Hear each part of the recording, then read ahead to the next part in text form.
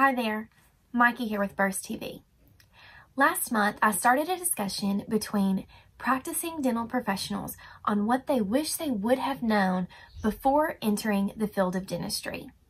Their responses were wonderful and super helpful to anyone who is considering going into the field of dentistry. If you haven't seen that video yet, you can find it here. And so it only seemed appropriate that I would follow up that segment with another question.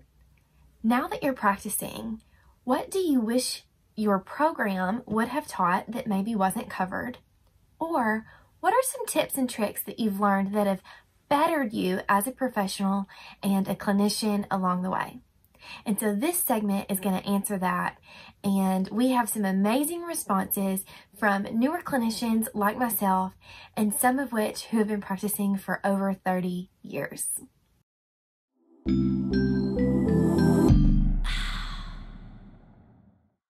In response to my prompt, Burst Ambassador Terry Jackson wrote, I wish I knew how much actual diagnosing I would be expected to perform in private practice. From cracks in teeth to recurrent decay to occlusion and biting forces, besides periodontal issues. My schooling didn't focus much on these, but my doctors rely on me to diagnose everything I can before they come into the op, every day with every patient. I agree. A lot of doctors do rely on hygienists to, you know, diagnose these things and give them a heads up before they come into the room and see a patient.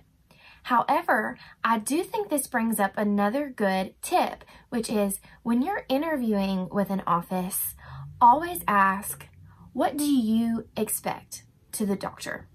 You know, how do they like their appointments to run? Because, like Terry, I've had dentists that I worked for that wanted me to diagnose these things and give them a heads up before they came into the room to do the exam. On the other hand, I've worked for dentists who didn't want me to give them a heads up before they stepped in to do their exam.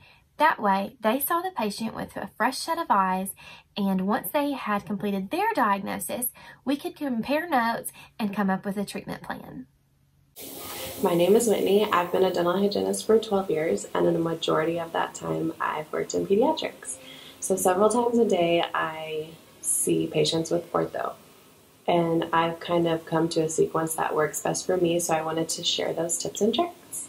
The first thing I do is polish on the linguals, and then I like to take a traditional brush and paste and brush that tenacious plaque around the um, brackets. And at the same time, I have the patient hold a mirror and I'm giving OHI to the patient and usually to the parent also.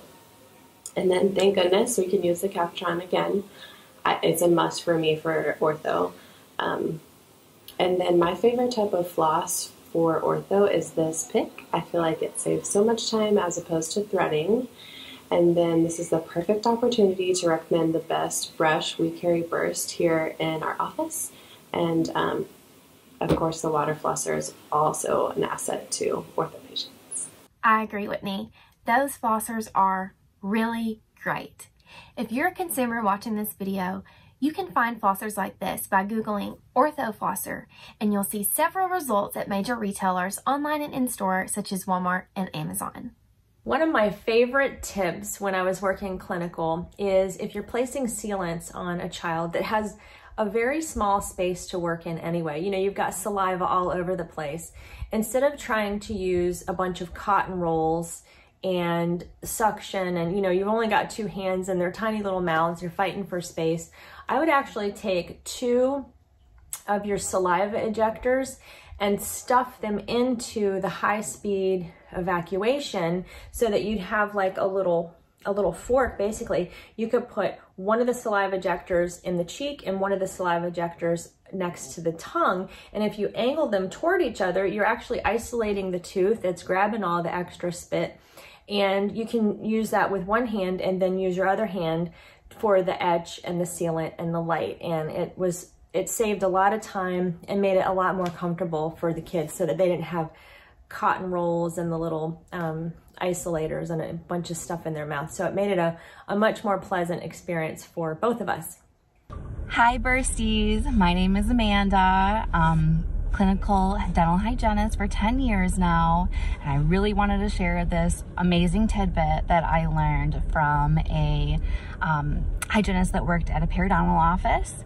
Um, so you know when you get that patient that has that lingual recession, they get tons of tartar there, tons of sensitivity. All you want to do is scale it off to help their health of their gums and all they do is flinch and go ooh and ah and it just makes your heart race because all you want to do is be able to do your job but you also want to keep your patient comfortable. So the best thing is to apply some fluoride varnish right on those root surfaces right when you start your appointment. Um, it won't be too much of a challenge to get off. That way you can um, Cavitron that right off and it's really gonna help with patients um, compliance and returning. I know that this one patient I've been treating for eight years now, um, he was just kept delaying his appointments just because they were so uncomfortable for him. Now I have him coming every four months consistently. And then his sensitivity has been way less too, because after we're done with this cleaning, whatever varnish is left in that package, I reapply that to the surface and it has helped so incredibly much. So hopefully you guys find that tidbit helpful. I know it made a world of difference for me and for all of my other patients that have the same problems. Hey everyone, this is Sandy. I have been a clinical dental hygienist for 26 years. And one of the most important things that I have learned in my career is to always pitch in and help in sterilization. Makes your team so happy when everybody pulls their own weight, whether it's your instruments or the doctor's instruments, always help out because you never know if you're going to be the one in need of help getting out the door at the end of the day or getting in a full lunch hour. So always help in the lab. That's my advice.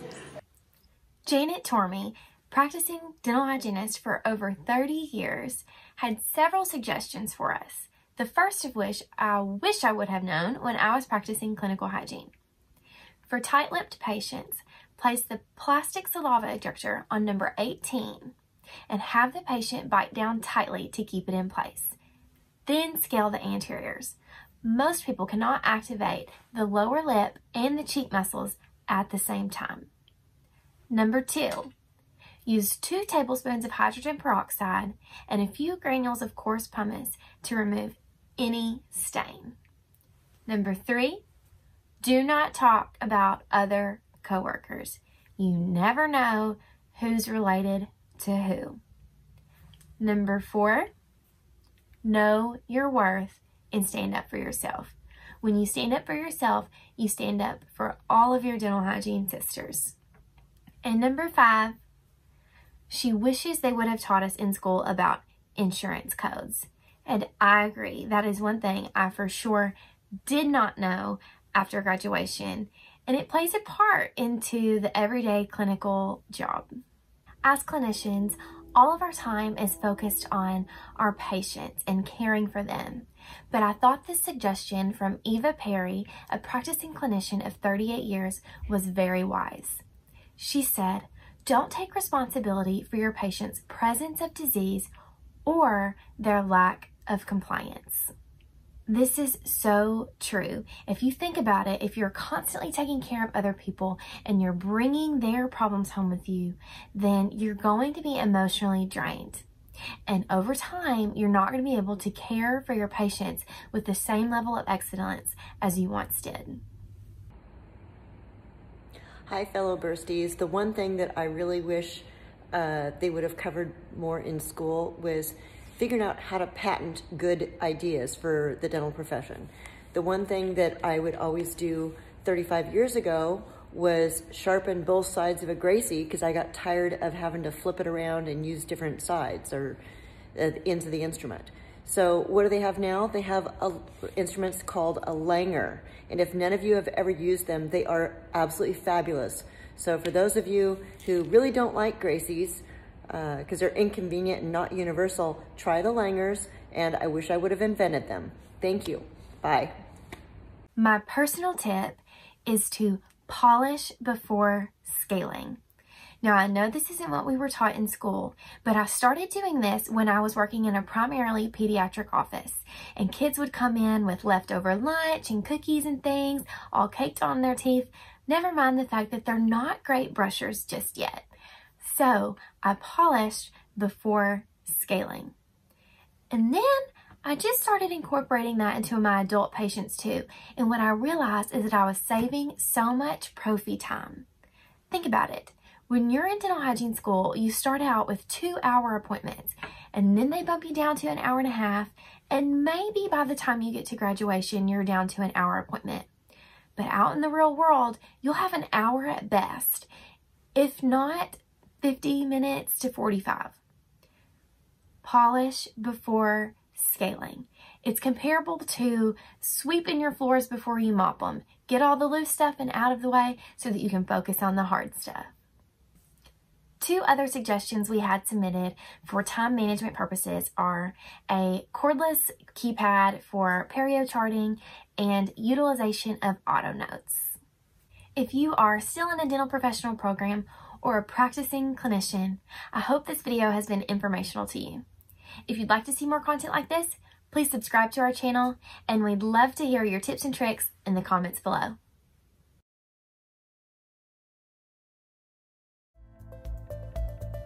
For tight-lipped patients, patients, patients,